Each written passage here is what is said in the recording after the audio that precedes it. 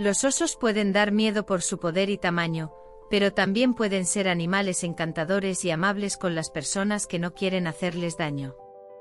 La casa de un hombre llamado Patrick está ubicada al borde del bosque. Y durante varios años seguidos, un oso pardo se le acercó al chico, comenzó una verdadera amistad. Bear Simona, como la llamaba Patrick, llevaba varios años visitando a un hombre. Las visitas se hicieron más frecuentes en vísperas del invierno, el chico siempre dejaba comida en el lugar. El oso mantuvo una distancia razonable y tenía miedo de acercarse, pero un día Patrick se despertó con un ruido. Al abrir la puerta, vio que el oso llegaba directamente a su porche y traía a sus cachorros. Sin embargo, esta vez Simona llegó inesperadamente.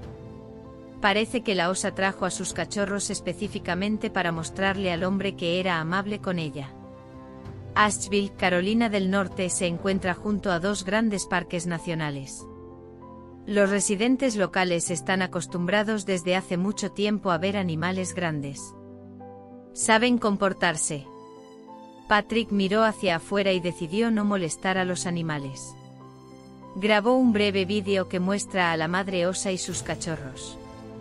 Después de caminar un rato por la casa, los animales corrieron hacia el bosque.